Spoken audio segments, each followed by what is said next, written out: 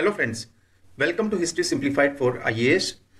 Today we will discuss about Harshavardhan rule so, Harshavardhan जो कि Pushyabhuti dynasty से आते थे वर्धन डायनेस्टी से आते थे उनका मेजर सोर्सेस जो हमारे पास है वो एक हो गया बाना भट्ट हर्षचरित्र और दूसरा सोर्स हो गया ह्यूंग सैंग के अकाउंट्स ह्यूंग सैंग एक चाइनीज़ ट्रेवलर थे जो हर्षवर्धन के रूल के समय इंडिया में आए थे.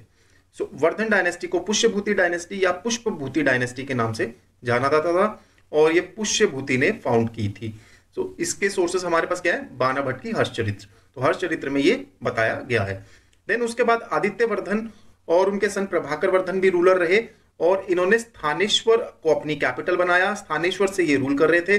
So Sthaneshwar is a place which is in Kurukshetra district of Haryana so ये माना जाता है कि मौखरी रूलर्स जो थे कन्नौज के उनके अंडर में प्रभाकर वर्धन रूल कर रहे थे, उनके फ्यूडेटरी रूलर थे, और प्रभाकर वर्धन के क्रेडिट में यह जाता है कि इन्होंने हुना रूलर्स को हराया। तो हुना ने इन्वेजन किया, प्रभाकर वर्धन ने उनको डिफीट कर दिया। प्रभाकर वर्धन के दो पुत्र थे, राज्यवर्धन एंड हर्षवर्धन, और उनकी पुत्री का नाम राजश्री था। सो प्रभाकर वर्धन ने मैरिटल अलायंस किया with Maukhari dynasty so Maukhari dynasty में अवंती वर्मन के जो पुत्र थे ग्रह वर्मन उनके साथ प्रभाकर ने अपनी पुत्री राजश्री का विवाह करवाया। तो यहाँ पे एक स्टोरी जो है हर चरित्र में दी गई है। एक बात बताई गई है जिसमें यह बताया गया है कि जब प्रभाकर की डेथ हो गई, प्रभाकर वर्धन की डेथ के बाद मालवा के राजा देवगुप्त ने कन्नौज के ऊपर अटैक कर दिया और देवगुप्त ने इसमें हेल्प किसके लिए? शशांक देव की, जो कि गौडा रूलर था। सो ये गॉड रूलर शशांक देव की हेल्प के साथ कन्नौज पे अटैक किया और ग्रह वर्मन को इनको मर्डर कर दिया। सो ग्रह वर्मन का मर्डर हो गया और राजश्री को कैप्चर कर लिया गया। देन राज्यवर्धन, जो कि हर्षवर्धन के बड़े भाई थे, उन्होंने मालवा रूलर को डिफीट किया, लेकिन राज्यवर्धन को धोखे से शशांक देव ने इनकी, इनका मर्डर कर दिया। उसके बाद हर्षवर्धन पिक्चर में आए। हर्षवर्धन ने राजश्री को रेस्क्यू किया। राजश्री सती करने जा रही थी तो उसको सती करने से रोका। ये कन्नौज में हर्षवर्धन ने राजश्री को सेव किया। उसके बाद हर्षवर्धन ने भास्कर वर्मन, जो कि एक कामरूप के रूलर थे, असम के रूलर थे, भास्कर वर्मन के साथ मिलकर हर्षवर्धन ने शशांक देव को रिट्रीट करने पे मजबूर कर दिया। लेकिन हर्षवर्धन ने डायरेक्टली शशांक देव के ऊपर कोई भी इन्वेजन नहीं किया। शशांक देव की डेथ के बाद इन्होंने बंगाल को हर्षवर्धन ने अपने राज्य में मिला लिया कैप्चर कर लिया। लेकिन ये बाद की बात है। उससे पहले हर्षवर्धन कन्नौज से रूल उन्होंने करना शुरू किया और उससे भी पहले Harshavardhan was ruling from Sthaneshwar so जो हम लोग यहाँ पे बात कर रहे हैं, ये उस समय की बात है जब राज्यवर्धन, जो कि हर्षवर्धन के बड़े भाई थे, वो रूलर थे and he was ruling from Sthaneshwar within kingship of Maukhari rulers तो मौकरी रूलर्स के अंडर में ही राज्यवर्धन रूल कर रहे थे। तो मौकरी जो रूलर थे, उनकी डेथ के बाद मोखरी डायनेस्टी का जो पूरा रूल था जो पूरी टेरिटरी थी प्लस जो हर्षा हर्षवर्धन की टेरिटरी थी वो दोनों टेरिटरीज कंबाइन हो गई। सो so, हर्षवर्धन ने जितने भी उस समय रिपब्लिक्स थे नॉर्दर्न इंडिया में और सेंट्रल इंडिया में उन सबको मिला के उनके रिप्रेजेंटेटिव्स को बुलाया और ये सारी रिपब्लिक्स के रिप्रेजेंटेटिव्स ने मिलके एक असेंबली में 606 एडी में हर्षवर्धन को महाराजा का टाइटल दिया और हर्षवर्धन ने कन्नौज को अपनी कैपिटल बनाया और वहाँ से उन्होंने रूल करना शुरू किया। सो so, इस चैप्टर में एक क्वेश्चन ये पूछा जा सकता है कि Harshavardhan was ruling on a loose confederation तो इस तरह का अगर क्वेश्चन का आंसर देना है तो हमें हर्षवर्धन के रूल के बारे में थोड़ा पता होना चाहिए उनके टेरिटोरियल गेन्स के बारे में पता होना चाहिए और किस तरह का वहाँ पर रूल चल रहा था। तो देखिए एडमिनिस्ट्रेशन तो मेजरली गुप्ताज की तरह ही था। तो फ्यूडल फ्यूडल रूलर्स ज़्यादा उसमें रूल कर रहे थे। तो इसी तरह से एक आंसर जो है हमें हर पार्ट से लेके इसमें बनाना पड़ेगा कि कुछ जो पार्ट्स है वहाँ पे कॉन्फेडरेशन की तरह रूल हो रहा था और कुछ जो कोर एरियाज़ थे वहाँ पे हर्षवर्धन डायरेक्टली रूल कर रहे थे। सो so, अगर हर्षवर्धन की जब वो पूरे पीक पे थे अपनी पावर में अगर तब उनके रूल के बारे में देखें तो नॉर्थन इंडिया के मोस्ट ऑफ़ द पार्ट्स और नॉर्थ वेस्टर्न इंडिया के भी ऑलमोस्ट सारे पार्ट्स इनके अंडर में आ चुके थे। सेंट्रल इंडिया के भी कुछ पार्ट्स इनके अंडर में थे और ईस्ट में काम रूप तक ये इनका रूल एक्सटेंड होता था। साउथ में नर्मदा रिवर तक इनका रूल एक्सटेंड हो रहा था। सो so, ये देख लीजिए ये ये इनका मैप बनता है। तो ये कुछ सेंट्रल इंडिया के पार्ट भी इसके अंदर में आ गए। देन ईस्टर्न इंडिया के पार्ट्स भी इनके अंडर में थे। यहाँ पे कामरूप के साथ इनकी बाउंड्री बनती थी। कामरूप रूलर्स के साथ हर्षवर्धन के अच्छे रिलेशन थे। ये हमने पहले ही देख लिया जब कामरूप के रूलर के साथ उन्होंने अलायंस बनवाया।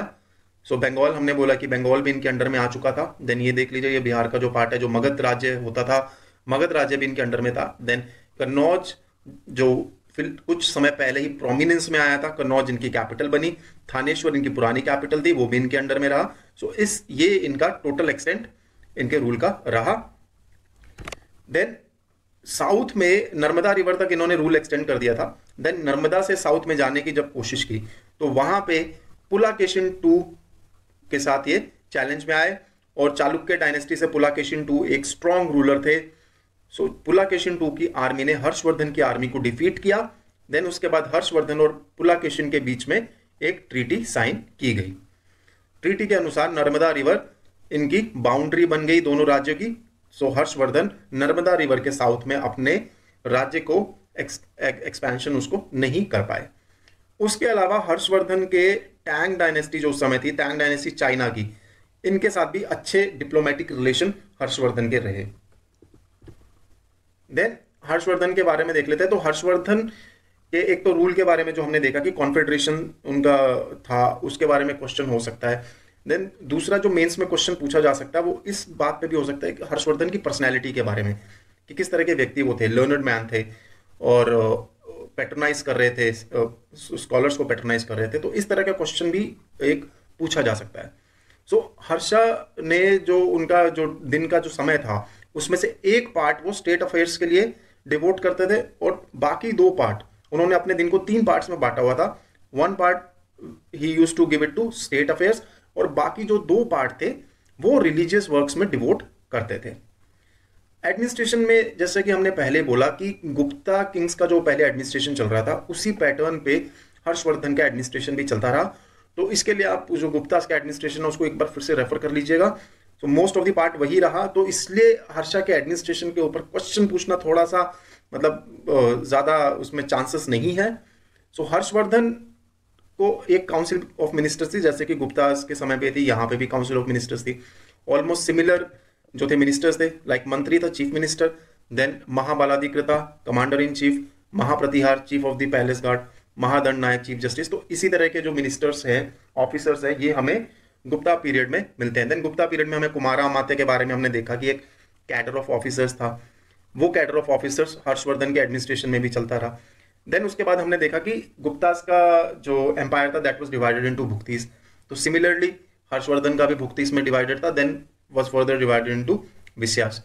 सो विश्यास हो गई इस समय डिस्ट्रिक्ट और भुक्तिस हो गए प्रोविंसेस तो उसी तरह से जैसे कि गुप्ता में प्रोविंशियल प्रोविंसेस में एक गवर्नर होता था।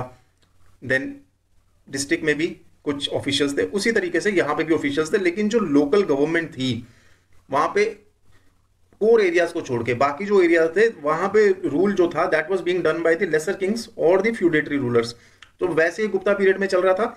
गुप्ता पीरियड में वो स्टार्ट जो थी स्लोली स्लोली हो रही थी तो ग्रेजुअली वो बढ़ती गई। तो हर्षवर्धन के समय में भी फ्यूडेटरी रूलर्स ही लोकल एडमिनिस्ट्रेशन को संभाल रहे थे। हम उन एरियाज़ की बात कर रहे हैं जो कोर एरियाज़ नहीं है। सो कोर एरियाज़ में तो डायरेक्टली इन्हीं के ऑफिशियल्स काम करते थे। देन ह्यूम सैंग बोलते हैं कि हर्षा का जो समय थे, उनके एडमिनिस्ट्रेशन के बारे में बहुत ही इन्होंने अच्छी बातें की है। क्राइम रेट काफ़ी कम था, हर्षा के जस्टिस सिस्टम के बारे में भी इन्होंने काफ़ी अच्छा बोला है। लेकिन ह्यूम सैंग के अकाउंट्स में रेफरेंस मिलता है कि इन्हीं को दो बार रॉब कर लिया गया। तो दो बार इन्हीं के ऊपर डकैती कर दी गई। सो दैट मीन्स कि शायद ये ह्यूम सैंग कुछ ज़्यादा ही बढ़ा चढ़ा के बोल रहे हैं और हर्षवर्धन के समय में मे भी क्राइम रेट इतना ज़्यादा लो नहीं था जितना ह्यूम सैंग दर्शाते हैं। सो so, क्योंकि ह्यूम सैंग खुद बोल रहे हैं कि वो दो बार उन उनको रॉब किया गया है। देन रेवेन्यू के बारे में देख लेते हैं। तो इनकम का मेन सोर्स लैंड रेवेन्यू था। लैंड रेवेन्यू कितना था? One six of the produce so one six of the produce was taken as land revenue उसके अलावा toll and duties on trade mining royal land tributes from vassal states तो ये भी जो है दूसरे सोर्सेस रहे इनकम के। अब ये जितने इनकम यहाँ पे एकत्रित की जाती थी that was not spent in four parts तो चार पार्ट कर दिए जाते थे स्टेट के इनकम का। सो so, पहला पार्ट जाता था किंग के बारे में के पास और जो ऑफिशियली उनकी सेरेमनीज होती थी। तो उसमें चला गया पहला पार्ट देन सेकेंड पार्ट चला गया सैलरीज देने में पब्लिक सर्वेंट्स को और बाकी जो खर्चे होते थे पब्लिक सर्वेंट्स के ऊपर उसमें सेकेंड पार्ट चला जाता था इनका। सो so, तीसरा पार्ट जाता था स्कॉलर्स और लर्नड मैन के ऊपर जिनको ये पैटर्नाइज कर रहे थे। तो जिन लोगों को पेट्रोनाइज कर रहे थे, उनके ऊपर भी एक मेजर पार्ट इनका स्टेट रेवेन्यू का ये खर्च कर रहे थे। देन चौथा पार्ट हो गया रिलीजियस एक्टिविटीज़ के ऊपर। सो रिलीजियस एक्टिविटीज़ में भी काफ़ी ज़्यादा इन्वॉल्व थे हर्षवर्धन। उनके ऊपर भी अच्छा खासा जो है खर्चा किया जा रहा था। देन हर्षा ने गोल्ड और सिल्वर कॉइन्स इशू किए। इनके अंदर इनको रेफर किया एज हर्षदेव या श्री शीलादित्य। तो शीलादित्य के नाम से या हर्षदेव के नाम से ये गोल्ड और सिल्वर कॉइन्स सर्कुलेट किए गए। देन हर्षवर्धन माना जाता है कि एक लर्न लर्नड मैन थे। इन्होंने तीन संस्कृत के प्लेज लिखे थे। रत्नावली, नागनंद एंड प्रियदर्शिका। काफ़ी बार इसके बारे में हम लोग डिस्कस कर चुके हैं। देन उसके बाद बाना भट्ट जो इनके कोट कोटियर थे इन्होंने हर्ष चरित्र लिखी थी। उसके अलावा कादम्बरी लिखी थी। तो ये दो इनके मेजर वर्क रहे बाना भट्ट के। उसके अलावा मयूर, हरिदत्त, जयसेना, ये कुछ और लर्नड मैन थे जिनको इन्होंने इन स्कॉलर्स को पैटर्नाइज किया था। देन बाना भट्ट कहते हैं कि इनके अलावा काफ़ी ज़्यादा पेंटर्स भी थे कोर्ट में जिनको पैटर्नाइज किया गया। लेकिन इनके बारे में हमें और कहीं से कुछ ज़्यादा जानकारी नहीं मिलती है। देन जो सील्स मिली है हर्षवर्धन की, उसमें यह बताया गया कि इनके एंसिस्टर्स जो हैं देवर सन वर्शिपर्स इनके भाई को बुद्धिस्ट बताया गया और खुद को इन्होंने शैव बताया। तो ये खुद शिव जी के भक्त बताए गए हैं। देन लेकिन ह्यूम सैंग बोलते हैं कि Harshavardhana was a devout Buddhist. So Hiuen Tsang कुछ अलग बात बता रहे हैं इसमें। सो इसमें हिस्टोरियंस का कहना है कि या तो ह्यूम सैंग इसको किसी तरह से हर्षवर्धन को बुद्धिज्म के साथ रिलेट करना चाहते थे, इसीलिए उन्होंने बुद्धिस्ट बताया। या एक दूसरा जो पक्ष है, वो ये कहते हैं कि मे बी लेटर पार्ट जो उनका रूल का है, उस समय हर्षवर्धन ने वो बुद्धिज्म में कन्वर्ट हो गए थे। तो इन दोनों अकाउंट्स में से कुछ भी पॉसिबल है। लेकिन ह्यूम सैंग कहता है कि वो एक बुद्धिस्ट थे। देन हर्षा ने बहुत सारी मोनेस्ट्रीज का कंस्ट्रक्शन करवाया, जहाँ जहाँ पे गौतम बुद्धा की लाइफ से जो जगह एसोसिएटेड थी, उन जगहों पर मोनेस्ट्रीज बनवाई गई। देन बहुत सारे स्तूपास गंगा रिवर के बैंक के ऊपर बिल्ड करवाए गए। एनिमल स्लॉटर को भी बैन कर दिया। सो एनिमल स्लॉटर को बैन किया, ये शायद कुछ कहीं से रिलेटेड है कि ये बुद्धिज्म से इन्फ्लुएंस थे। देन उसके अलावा हर्षवर्धन की जो हर्षवर्धन काफ़ी सेकुलर रूलर थे। इन्होंने सारे के जो मेजर रिलीजन्स उस समय थी, सभी की सभी रिलीजन्स के स्कॉलर्स को इन्होंने पैटर्नाइज किया था। देन एनुअल असेंबली बुलाई जाती थी, जिसमें सभी स्कॉलर्स को बुलाया जाता था। उनके ऊपर काफ़ी ज़्यादा खर्चा किया जाता था, उनको डोनेशंस दिए जाते थे। ये इसी के बारे में हम लोग पहले देखिए, यहाँ पे हमने डिस्कस किया कि जैसे चार पार्ट्स में बांटा गया तो स्कॉलर्स और लर्नड मैन के लिए भी उसमें जो है रेवेन्यू रखा जाता था, उनके लिए भी। और सेकेंड रिलीजियस एक्टिविटीज़ के लिए भी कुछ अमाउंट रखा जाता था। देन हर्षा ग्रेट असेंबली रखते थे हर पाँच साल में। तो इस ग्रेट असेंबली का नाम था मोक्ष। सो so, मोक्ष नाम की ग्रेट असेंबली हर फाइव ईयर्स में ऑर्गेनाइज कराई जाती थी। उसके अलावा ह्यूम सैंग बताते हैं about a twenty one day religious festival जो कि हर्षवर्धन ने कन्नौज में कराया था। तो इसके बारे में भी ह्यूम सैंग की ह्यूम सैंग अकाउंट में ज़िक्र आता है। उसके अलावा इन्होंने ये भी बताया कि नालंदा से इन्होंने मोर देन थाउज़ेंड मॉन्क्स को बुलाया था इस uh, uh, जो इन्होंने रिलीजियस फेस्टिवल ऑर्गेनाइज कराया। सो so, इसी यही हमारे पास हर्षवर्धन के बारे में है। सो so, हर्षवर्धन की पर्सनैलिटी के ऊपर जो मैंने बोला वो क्वेश्चन आने के चांसेस बनते हैं। और दूसरा कि उनका रूल कॉन्फेडरेशन था लूज कॉन्फेडरेशन था उस तरीके का क्वेश्चन इसमें आ सकता है। सो so, यहीं पे इसको खत्म करते हैं। एंड अब हम अगले पार्ट में will go to the other kingdoms which were contemporary of Guptas तो उनके बारे में हम लोग डिस्कस करेंगे like Kadambas then will discuss about Chalukyas Pallavas तो वो सारा हम हम आगे डिस्कस करते रहेंगे. So thank you very much for now and have a very nice day